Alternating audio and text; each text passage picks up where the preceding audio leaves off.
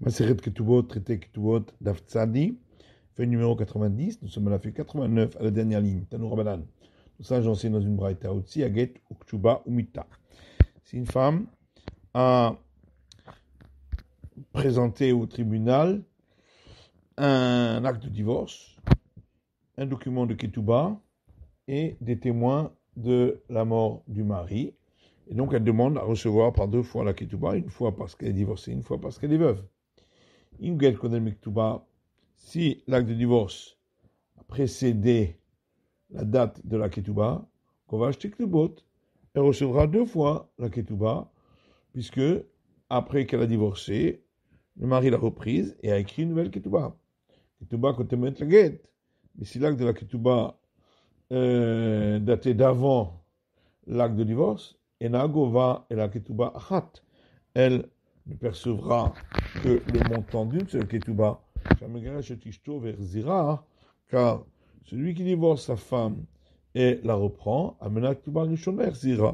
il la reprend en reprenant la première Ketouba pour ce remariage. Matiti, Mishnah suivante. Katan Shesi ou un mineur qui était marié par son père. Ketubatar Kayemet, Shamenat Ken Kima. La Ketuba qu'il a écrite est valable, puisque c'est en tenant compte de cet acte de Ketuba qu'il l'a gardé. Gershit Gaira Ishtoimo, un converti qui s'est converti avec sa femme. Ketubatar Kayemet, l'acte de Ketuba qu'il a écrit avant la conversion est toujours valable. Shamenat Ken Kima, puisqu'il l'a gardé en tenant compte de cet acte de Ketubah. On ne parle que du montant de base, 112 ou 200, parce que c'est une institution des sages. Aval Tosefet en là, mais le surplus, elle n'a pas, puisque l'acte en question n'est pas valable. Ravuda Ama, alors que Ravuda dit, mais le surplus aussi, elle le reçoit, et on considère l'acte comme valable. Motivé, on objecte à partir de Braïta qui dit notelet Chichu. Si les mariés en question, qui étaient au départ euh, convertis ou non juifs, et ont grandi ou se sont convertis, si ils ont rajouté un surplus ensuite sur le montant de la ketouba, elle pourra recevoir hein, ont rajouté. Et donc, in, lo, on en déduit que c'est seulement s'ils ont rajouté un surplus. Et s'ils n'ont pas rajouté de surplus, ne recevra pas. La Gemara dit, Non, c'est pour nous dire qu'elle percevra également ce qu'ils ont rajouté par la suite, mais ça n'empêche pas de recevoir le surplus qui avait été écrit au départ. Mais pourtant, c'est pas enseigné ainsi. Puisque la Braïta dit, s'ils ont rajouté, elle recevra ce qu'ils ont rajouté. Lo s'ils n'ont pas rajouté, Betula Mataim, si elle était vierge au départ, elle percevra le montant de 212, Valmana Manae, si elle était veuve au départ, 100. Tout à l'heure, Ravuda. C'est donc une objection contre cette opinion de Ravuda. Ravuda Matiti n'a traité. Et en réalité, Ravuda, hein, il a été induit en erreur par l'expression de notre Mishnah. Où ça va, lui, il a pensé que quand la Mishnah dit que sa Ketuba est toujours valable, la Kula Milta Kayi s'applique à l'ensemble de ce qui est écrit sur la Ketuba, même le surplus. Loi. En réalité, c'est pas vrai. Aïka Ketuba Kaye, ça s'applique uniquement au montant de base. Prochain chapitre, Mishnah. Mishaya Nasui Shenashin. Celui qui était marié à deux femmes, Oumet, il est décédé. Arishona Kodemet la Shnia, la première qui s'est mariée avec lui, aura la préséance sur la deuxième pour le montant de la.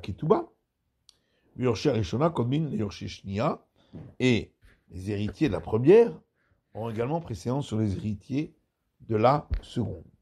C'est Arishona Umeta, si il s'était marié avec la première et elle est décédée. Nasashnia Umethu, puis il s'est marié avec la deuxième et lui est décédé.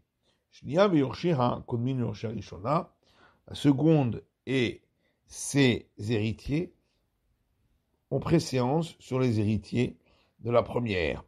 Parce que pour la seconde et ses héritiers, il s'agit d'une dette. Alors que pour les héritiers de la première, c'est pas une dette, mais un héritage qui est euh, de recevoir la ketouba en tant que fils de la femme. Or, le paiement des dettes passe avant l'héritage. Gemara.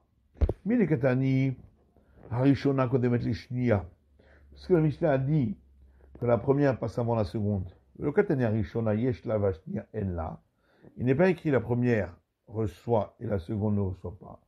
Car dit kan mashnia et tafsa lo mafkina mina.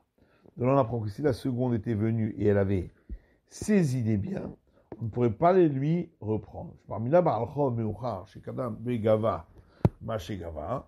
Et de là, on apprend que un créancier qui était en seconde position, qui s'est dépêché et a saisi des biens avant qu'on ait payé le premier créancier, ce qu'il a perçu est considéré comme perçu. Et là, on a dit, non. On peut dire que ce qu'il a perçu n'est pas considéré comme perçu.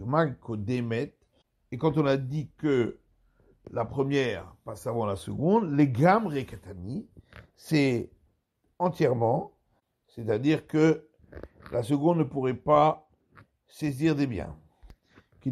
Comme on a vu dans une Mishnah, Ben Kodem le bat, le fils passe avant la fille, et en réalité, ça veut dire que c'est lui qui perçoit tout et la, et fille rien.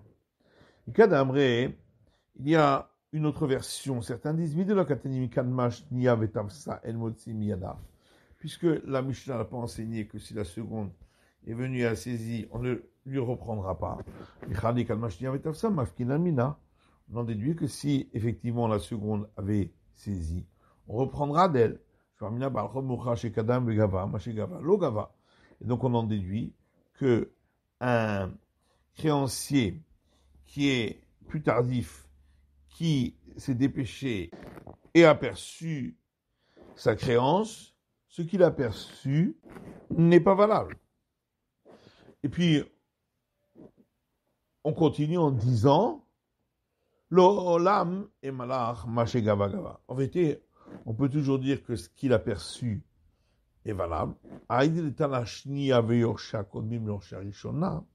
étant donné que dans la suite de la Mishnah, on a dit que euh, la seconde et ses héritiers passent avant les héritiers de la première, car là on ne pouvait pas dire que ce qu'ils ont perçu est perçu, puisque euh, la dette passe avant l'héritage. Et donc, c'est pourquoi on a dit également au début de la Mishnah, Tananami, Arishona, Kodemet, Shnia. On a enseigné que la première passe avant la deuxième, bien que si l'autre avait saisi en premier, ce qu'elle aurait saisi était valable. La rapporte la suite de la Mishnah, Nasaït Arishona, si c'était marié avec la première, et elle est décédée, ensuite c'est marié avec la deuxième, et lui est décédé. On apprend de l'enseignement de notre Mishnah, Tlat, trois choses. On apprend que si l'une est décédée du vivant du mari et l'autre est décédée après la mort du mari, même dans ce cas-là, les héritiers de la première percevront la ketouba en tant que fils de la première, mais le Il ne craint pas qu'ils vont en venir à se disputer avec les héritiers de la seconde, puisque eux ne perçoivent pas la ketouba en tant qu'héritage. Mimai, et d'où sait-on, Midekatanishia Parce qu'on a dit que la seconde et ses héritiers ont préséance sur les héritiers de la première. Donc c'est seulement la préséance qu'ils ont. Haïka, Chaclé, mais en tout cas, s'il reste aussi pour les héritiers de la première, ils vont percevoir la ketouba de leur mère. Ushparmina, on apprend également ketouba narasit motar.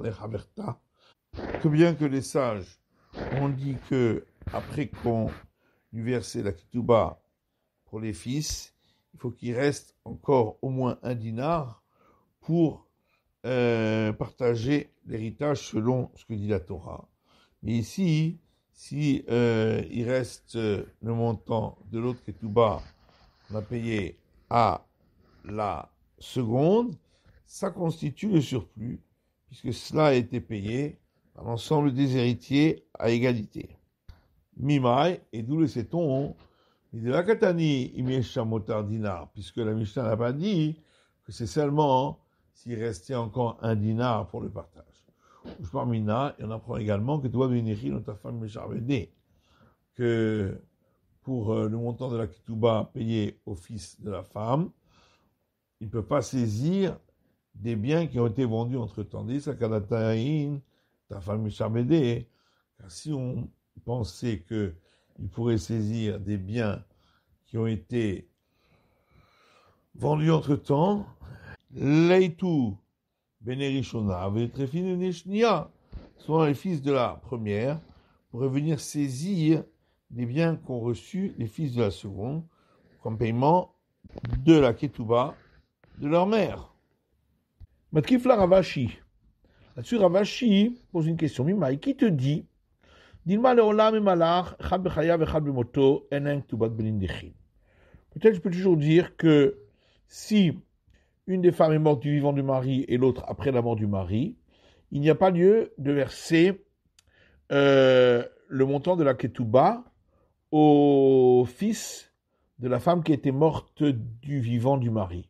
Mim, et que veut-on dire quand on dit que les héritiers de la seconde passent avant, puisque les héritiers de la première ne reçoivent pas de Ketouba, les Nachala Katani, ils passent avant le partage de l'héritage. Alors tu vas dire, mais pourquoi on parle des héritiers de la première, puisque de toute façon tous vont partager ensemble l'héritage? Étant donné qu'on a dit les héritiers de la seconde, c'est pourquoi on a parlé d'héritiers de la première, mais en vérité, ça veut dire qu'ils passent avant le partage de l'héritage pour recevoir la ketouba de leur mère. Et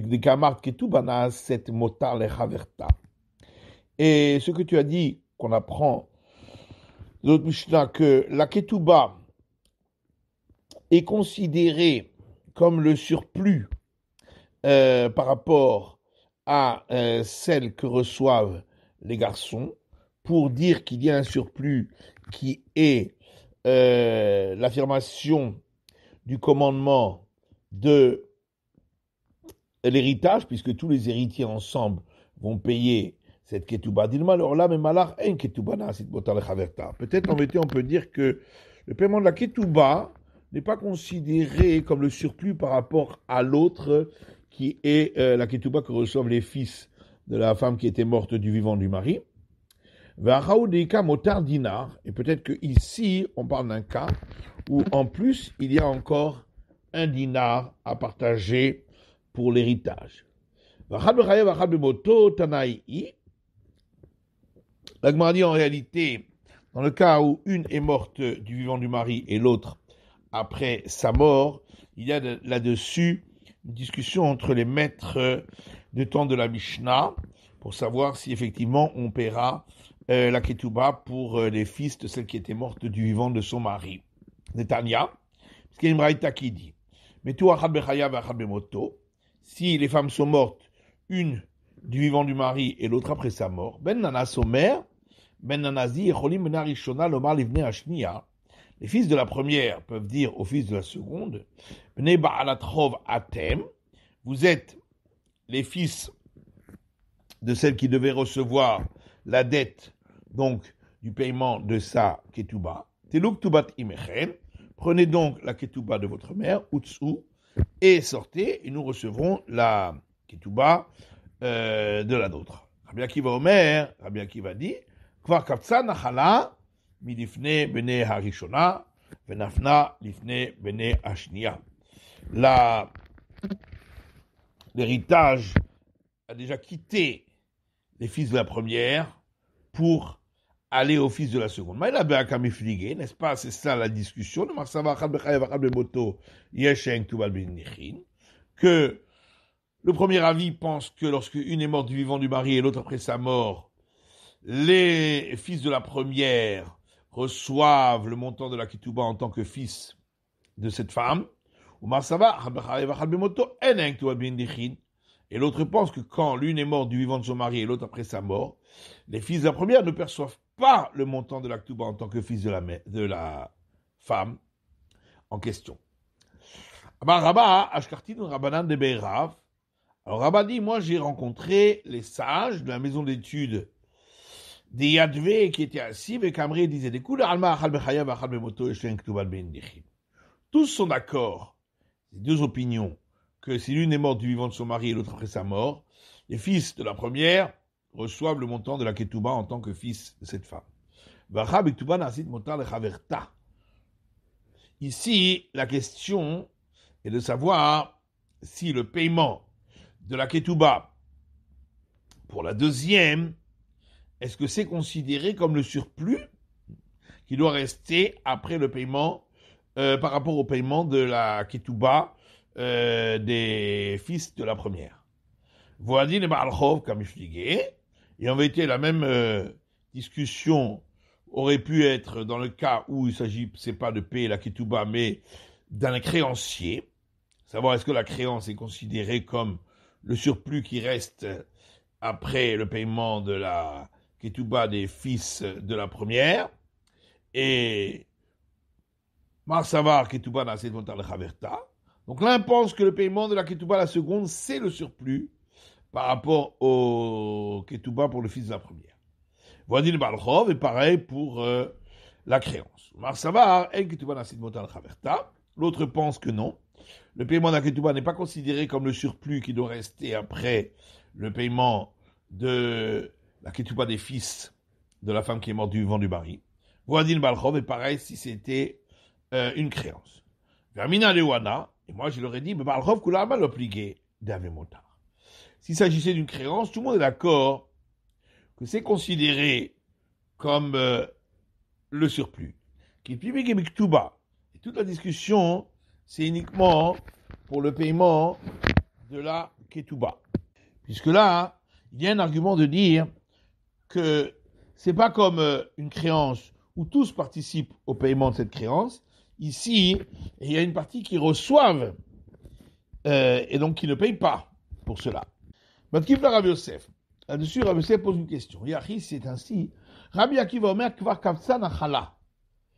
Rabbi Akiva dit, l'héritage est déjà parti de chez eux. Mais je il aurait dû faire une différence s'il reste euh, un surplus d'un dinar ou pas. C'est pourquoi Rabbi Yosef dit, que leur discussion est bien dans le cas où une est morte du vivant du mari et l'autre après sa mort, et ces deux opinions suivent la discussion de deux autres opinions qu'on a trouvées par ailleurs, des Tania, parce qu'il y a une qui dit si un homme s'est marié avec une première femme et elle est morte de son vivant, Naset Ashnia ou Methu, il s'est marié avec une, une seconde, et lui est décédé.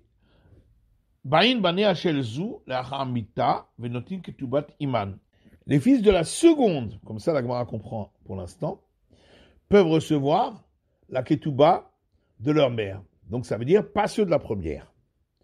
Rabbi Shimon Omer, Rabbi Shimon lui dit, s'il reste, après avoir payé les deux montants de ketouba, un surplus d'une pièce d'un dinar, alors, Elunotin les uns prendront la ketouba de leur mère et les autres aussi la ketouba de leur mère. Mais sinon, Cholkin Bechavé, il y aura un partage de l'héritage à part égale. Les fils de la première ne recevront pas euh, le montant de la ketouba de leur mère. Maïla alors n'est-ce pas que c'est donc cela la discussion? Le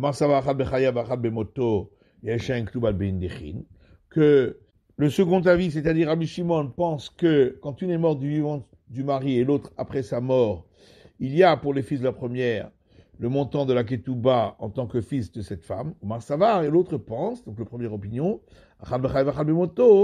quand l'une est morte du vivant du mari et l'autre après sa mort, il n'y aura pas pour les fils de la première le paiement de la Ketouba en tant que fils de cette femme. C'est la fin de l'étude de la feuille numéro 90 du Daf Tzadi.